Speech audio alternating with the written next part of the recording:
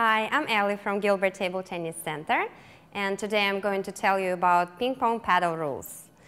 Um, in ping pong, the table tennis, we have different uh, rackets. We have so many different rackets. Um, uh, professional rackets, they're of course different from uh, just the amateur rackets. So some rackets what you can use in playing in basement or just in the garage.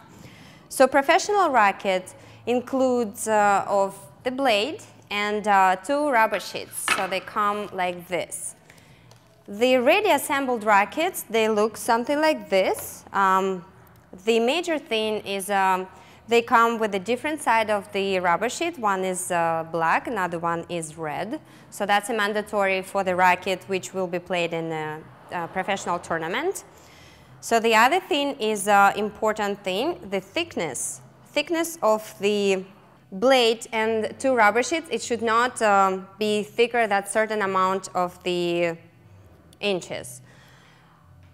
Then also important thing is um, each racket which is used in professional table tennis should have the sign of ITTF approved, um, ITTF approved sign over here. So you can see it um, on the black side right here and also on the red one right here. So um, as uh, I mentioned before, if I show you this racket, uh, see, it, it, this racket is just used for outdoor.